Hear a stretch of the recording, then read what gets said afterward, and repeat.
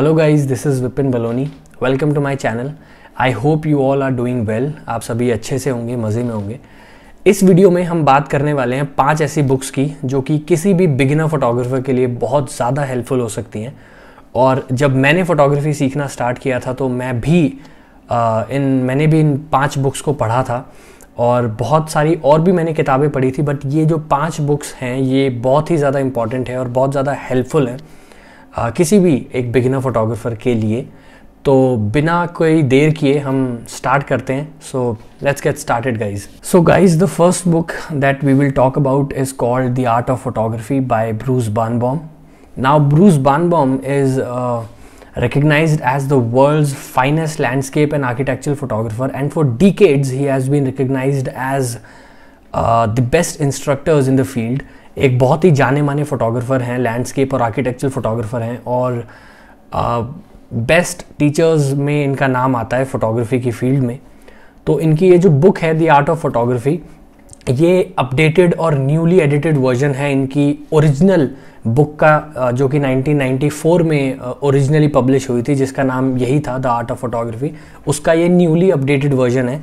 और इस बुक में जो फोटोग्राफर हैं ब्रूस बानबॉम इन्होंने सौ से भी ज़्यादा इलस्ट्रेशंस दी हुई हैं, जो कि ब्लैक एंड वाइट और कलर्स दोनों में हैं।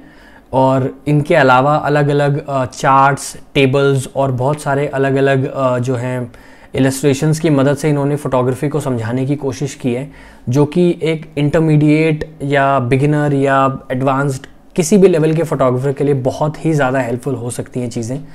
और इस बुक की जो ख़ास बात है वो ये है कि इसमें जो है, जो फोटोग्राफर हैं, वो हमें डिजिटल और ट्रेडिशनल दोनों तरीके से फ़ोटोग्राफी किस तरीके से होती है, दोनों ही मीडियम्स में हमें समझाने की कोशिश की है। प्लस इसका जो टेक्निकल बैकग्राउंड है बुक का, वो बहुत हार्ड है। बहुत हार्ड मतलब इन अ वे कि बहुत ज़्यादा बहुत ज़्यादा टू द पॉइंट है। बट इसके अलावा टेक्निकल बुक होने के अलावा ये सिर्फ़ मैं कहूँगा एक टेक्निकल बुक नहीं है। ये वेल बियॉन्ड जाती है टेक्निकल एस्पेक्ट्स के और फिलोसॉफिकल और क्रिएटिव आइडियाज़ के बारे में ये बुक बात करती है। तो ये बुक बहुत इंपॉर्टेंट है and you should definitely consider this book like आप इनको इसको इस बुक को ज़रूर पढ़िए। Second book that we will talk about is called collecting souls by Thomas Leuthard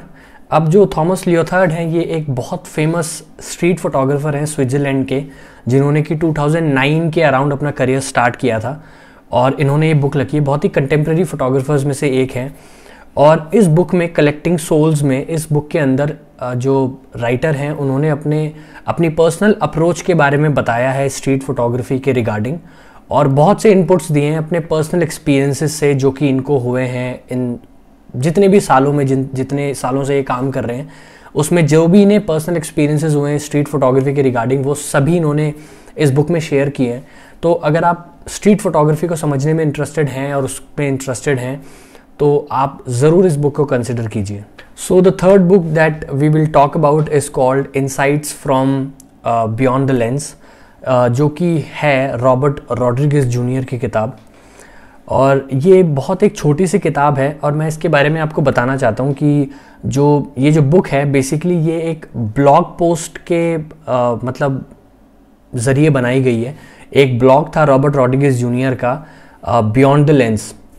उस ब्लॉग पोस्ट से रिलेटेड ही ये एक बुक इन्होंने कंपाइल की है और ये बहुत एक छोटी सी किताब है ज़्यादा बड़ी किताब नहीं है। और ये जो बुक है ये डील करती है आर्ट एंड क्राफ्ट जो कि लैंडस्केप फोटोग्राफी से रिलेटेड है और बहुत ही होलिस्टिक पर्सपेक्टिव से हमको लैंडस्केप फोटोग्राफी के बारे में बताने की कोशिश करती है।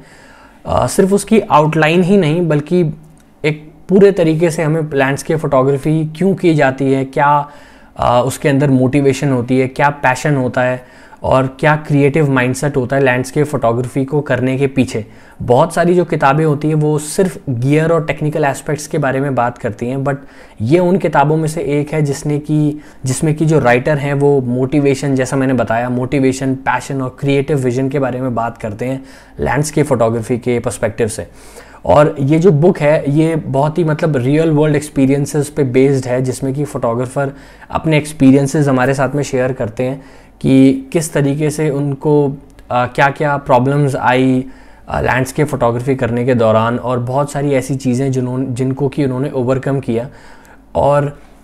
बहुत मौक़ों में इस बुक के अंदर जो राइटर हैं वो हमें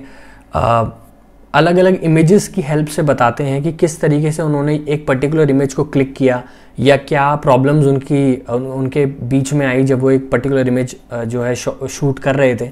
तो मतलब एक एक इमेज के तरीके से उन्होंने हमें बताने की कोशिश की है इमेजेस के थ्रू और पूरी प्रोसेस बताई है उस इमेज को क्लिक करने के पीछे की क्या प्रोसेस थी और क्यों उन्होंने क्लिक की और क्या उनकी मोटिवेशंस थी लाइफ में। जो कि वो पेंटर से ड्रॉ करते थे या अलग अलग मीडियम के आर्टिस्ट से वो इंस्पिरेशन ड्रॉ करते थे, उन सभी चीज़ों के बारे में इन्होंने इस बुक में बताया है, जिसका नाम है insights from beyond the lens तो इस बुक को भी आप ज़रूर कंसिडर कीजिए। So the fourth book that we will talk about is called shooting in shitty light which is written by Lindsay Adler and Erik Valind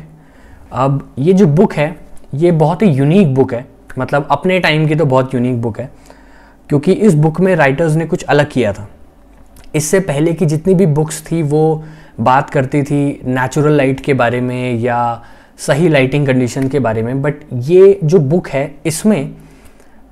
हुआ क्या है कि इसमें जो राइटर हैं, वो टेन वर्स्ट लाइट सिचुएशंस के बारे में बात करते हैं। क्योंकि बहुत बारी आपने देखा होगा कि ऐसा होता है कि फोटोग्राफर्स को हमेशा आइडियल सिचुएशन नहीं मिलती शूट करने के लिए। बहुत बारी ऐसा होता है जबकि ओवरकास्ट कंडीशन होती है, या मिड डे में आपको शूट करना पड़ता है, या लो लाइट है, या कहीं पे इंडोर्स के अंदर फ्लोरेसेंट लाइट का यूज़ ज़्यादा हो रखा है, अगर इंडोर्स में अगर शूट हो रहा है, या मिक्सड लाइट्स हैं तो ऐसे में बहुत ज़्यादा adverse light light situations create हो जाती हैं, जहाँ पे कि लाइट इस तरीके से आपको प्रॉब्लम में डाल रही होती है कि एक बिगिनर को समझ नहीं आ पाता कि किस तरीके से इन प्रॉब्लम्स को टैकल किया जाए एज अ फोटोग्राफर तो ये जो बुक है, इसमें प्रैक्टिकल आइडियाज़ जो हैं राइटर्स ने दिए हैं कि किस तरीके से हम ये प्रॉब्लम्स को ओवरकम कर सकते हैं। और 10 ऐसी वर्स्ट लाइट सिचुएशंस के बारे में बात किया है और इनके प्रैक्टिकल सॉल्यूशंस देने की इस बुक में कोशिश की है। और ये भी बताया है कि क्यों एक पर्टिकुलर सॉल्यूशन जो है वो किसी दूसरे सॉल्यूशन से बेटर रहेगा किसी एक पर्टिकुलर कंडीशन में।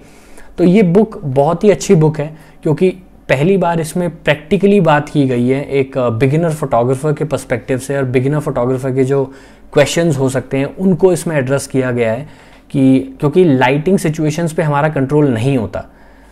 वो हमें देखना पड़ता है कि कौन सी लाइटिंग सिचुएशन हमें मिल रही है शूटिंग के लिए तो हमें उसी के अंडर जो, उसी के अंदर रहते हुए हमें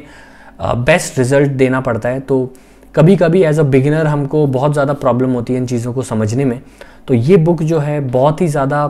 to the point practical book है ऑन पॉइंट बुक है और इस बुक को आप ज़रूर कंसिडर कीजिए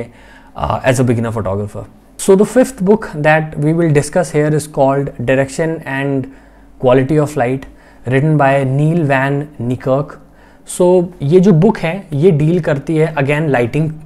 से रिलेटेड और ये बेसिकली पोर्ट्रेट फोटोग्राफी के पर्सपेक्टिव से है। इस बुक में जो फोटोग्राफर हैं और जो राइटर हैं वो हमें बताने की कोशिश करते हैं कि किस तरीके से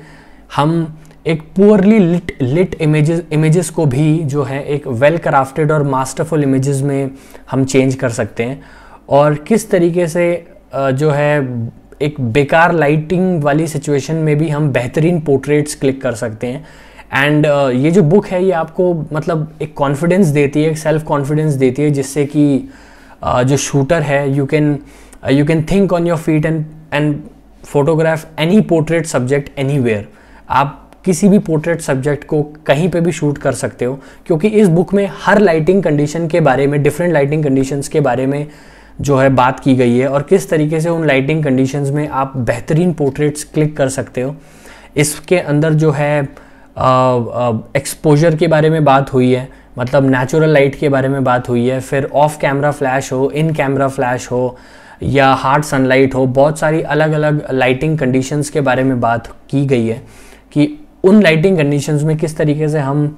जो है वेल क्राफ्टेड पोर्ट्रेट्स क्लिक कर सकते हैं। और प्लस जो ये बुक है ये डील करती है आ, उन सारी अगेन प्रैक्टिकल प्रॉब्लम्स जो कि एक बिगिनर को हो सकती हैं। Photography start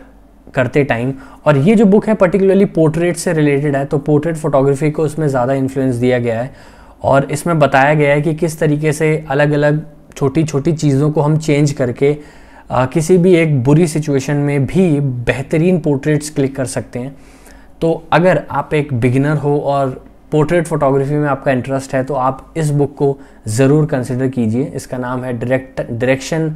and quality of light by Neil van Niekerk so that's it guys ये थी पाँच बुक्स जो कि मैं कंसिडर करता हूँ और मैं रेकमेंड करता हूँ हर उस फोटोग्राफर को जो कि एक बिगिनर फोटोग्राफर है और स्टार्ट कर रहा है फोटोग्राफी सीखना। तो आपको ज़रूर ये किताबें पढ़नी चाहिए। बाकी that's it from this video I hope ये वीडियो आपको अच्छी लगी होगी और काफ़ी हेल्पफुल लगी होगी। तो that's it from the video and मैं अब आपको अगली वीडियो में मिलूँगा। So till then take care have fun and stay safe guys bye bye take care